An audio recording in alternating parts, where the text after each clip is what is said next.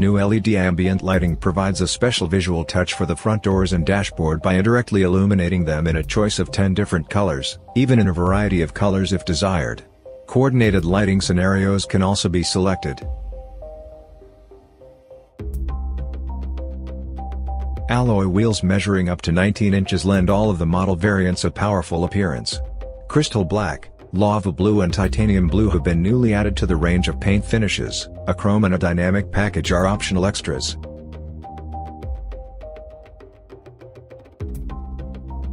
Innovative full LED matrix headlights are available as an option, allowing the driver to leave the high beam on at all times without dazzling other road users.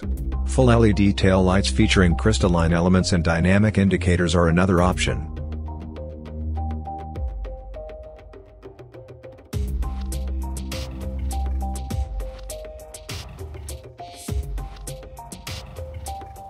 Optional, particularly back-friendly ergo seats, which among other things offer an electric massage function, are available for the first time in a Skoda. In the top version, they can also be ventilated. The Octavia offers a new two-spoke steering wheel, which can be heated as an option and, if ordered as a multi-function variant, comes with new control buttons and knurled scroll wheels, allowing drivers to operate a total of 14 different functions without removing their hands.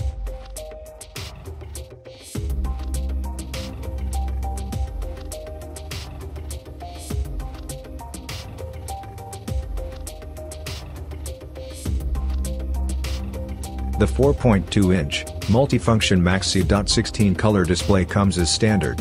Tri-Zone Climatronic makes its debut in the Octavia. Using the optional keyless vehicle entry system, now any one of the car's four doors can be opened first.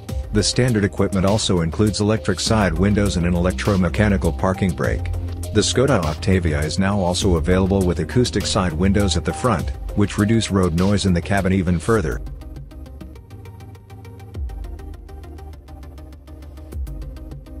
The optional head-up display is another first for a Skoda.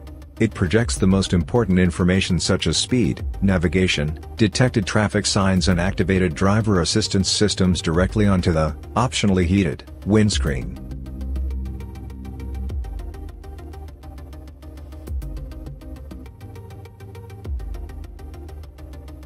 The wide range of powertrains in new Octavia 4 deliver from 81 kilowatts to 150 kilowatts of power.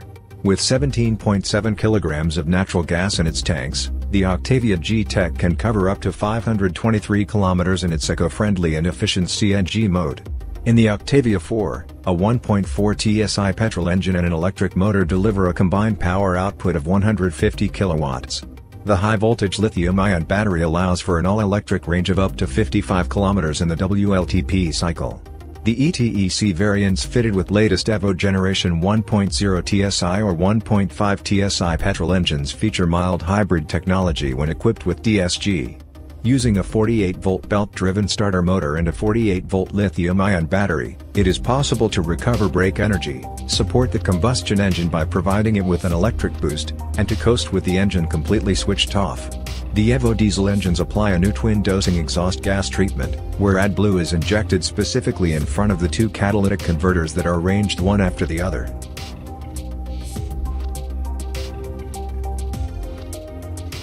The new Octavia is the first Skoda ever to use shift-by-wire technology for operating the DSG, which electronically transmits the driver's gear selection to the transmission.